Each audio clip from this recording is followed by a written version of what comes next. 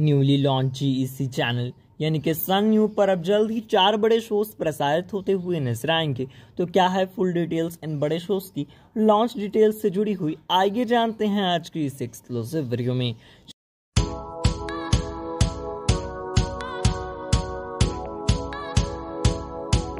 शुरुआत की जाए सबसे पहले नंबर वन के पायदान की तो यह है। छठी, मायके की बिटिया। आपको बता दें खबरें कि ये शो जल्द ही टीवी स्क्रीन को हिट करता हुआ नज़र आएगा। शो में Debolina Bhattacharya female leading character में नज़र आएँगी और शो में गॉडेस की भूमिका में और शो गॉडिस की भूमिका में नज़र आएँगी। वहीं रिपोर्ट्स हैं कि ये बड़ा शो हमें जल्द ही 16 जून से मंडे टू सैटरडे सात बजे के टाइम स्लॉट पर सन न्यू पर प्रसारित होता हुआ नज़र आएगा। बात की जाए इसी के संग दूसरे शो की तो यह है सजा सिंदूर। इस बड़े शो को भी लेकर कई बड़े और पॉपुलर सेलिब्रिटीज के नाम खुलकर सामने आ रहे थे। हालाँकि अब लेटेस्ट रिपोर्ट्स की माने तो खबरें के इस अपकमिंग शो की भी लॉन्च डिटेल्स मेकर्स ने कंफर्म कर दी है। शो हमें 16 जून से ही टीवी स्क्रीन को हिट करता हुआ नज़र आएगा। शो भी मंडे से सैटरडे तक ऑडियंस का मनोरंजन करेगा। शो का टाइम स्लॉट साढ़े सात बजे के टाइम स्लॉट पर टीवी स्क्रीन को हिट करता हुआ नज़र आएगा। बात की जाए इसी के साथ नंबर तीन के पायदान की तो यह है इश्क जबेलिया। खबरें के इस अपकमिंग शो को लेकर भी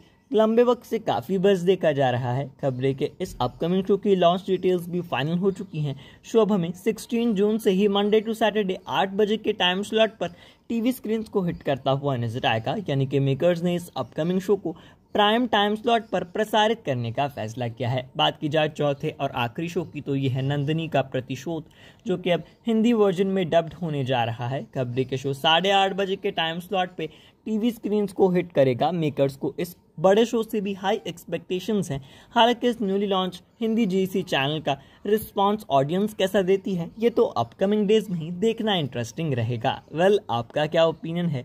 इन चार अपकमिंग शोज़ को लेकर अपना ओपिनियन शेयर कीजिए। हमें नीचे कॉमेंट सेक्शन में इस वीडियो को लाइक कीजिए और चैनल को सब्सक्राइब कीजिए।